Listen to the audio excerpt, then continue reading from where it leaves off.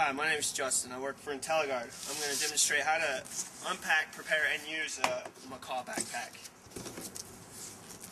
First off, we have the accessory tray, which in the accessory tray is your owner's manual, which you should um, revise and go through, your smoothbore nozzle, and your sample foam pack. Inside the box is the Macaw itself. In order to take the Macaw you pick it up by the handle, not by the air, air hose. Get it out, it down.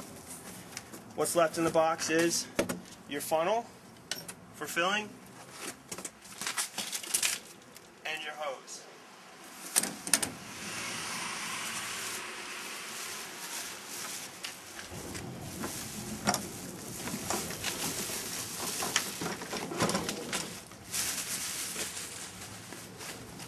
Set up the straps for your pack.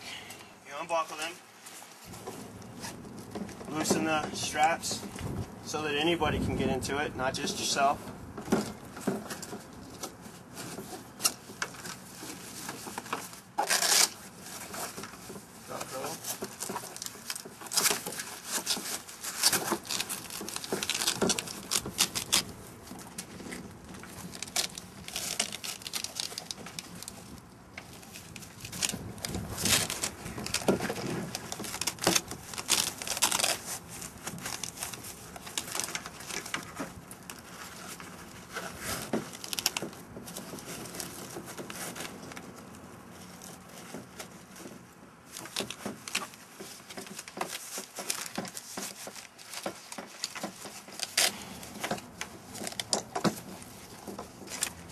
After you've adjusted your straps and everything looks set, um, in case you do get confused, there is a quick fit adjustment guide here that you can watch you through step by step. The bottle is a 4,500 pound PSI bottle, so it is under pressure at all times. You want to make sure that your strap is strapped into, your bottle is strapped into the tank itself and seated in. Storing these bottles, you want to store them in a secure location or on the ground, um, never standing up, laying on their side all the time. When you connect this bottle, this connection here, this fitting, needs to be no more than hand tight. The air pressure in the O-ring inside will keep it tight. You don't want to turn your bottle on yet because you haven't went through the proper procedures yet. Next thing you want to do is hook up your hose handset. It's just a quick fit. The snaps on there. Then you'll take in your accessory box your smoothbore nozzle, connect it in. Once you've done that, you're ready to fill your container, your macaw. Um,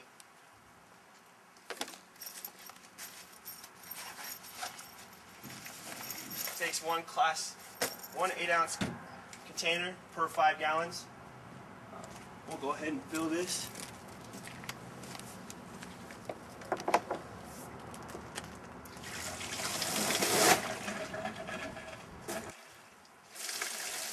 When you're finished filling your tank, that's when you add your class A. Um, preferable that you add your, your foam after you fill. That way you don't get the excess foam of it bubbling up. We filled from a hose. Um, the funnel is supplied, so in case you're in the field or someplace where you're pouring from five gallon bucket, you have a funnel, less of a mess. So we're going to add our foam to our five gallons.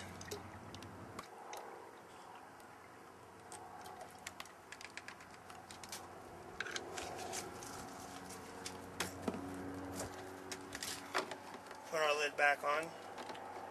Now keep in mind that this body here is never under pressure. The only thing under pressure is the bottle itself to the pump. So if you're in the field, you can always refill while this is still on. You don't have to take and shut it all down. Make sure all our connections are good. At this point, you're ready to set your wet or dryer foam according to the nozzle you're going to use. We're going to use the smoothbore nozzle, so we're going to set to a dryer foam. This trigger handset does have a trigger lock on it, so you want to make sure before you turn your bottle on that is unlocked. That is the lock position, it's unlocked there. So we got it on our dryer foam. We're going to turn our bottle on. You might hear the pump cycle a couple times. That's just filling the lines with the uh, fluid. Turn your bottle all the way on. Now you're ready to put your pack on. So we're going to start off putting it on our straps.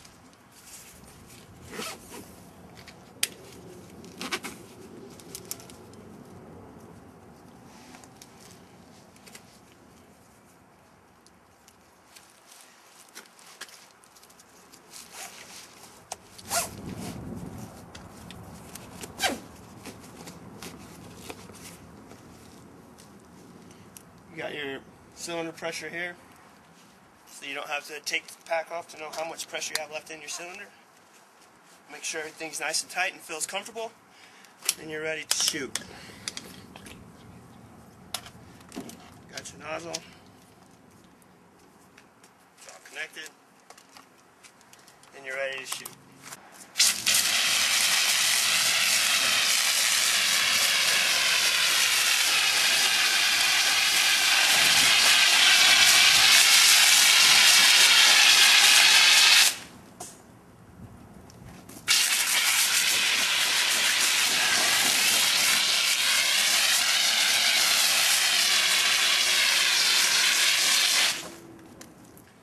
You're done using the backpack, you can take the, pack off and store it as is with the fluid that you have left in, if you have any left in it, for a period of time so it's in a ready status in case you're going off. The thing about it is you must turn off your cylinder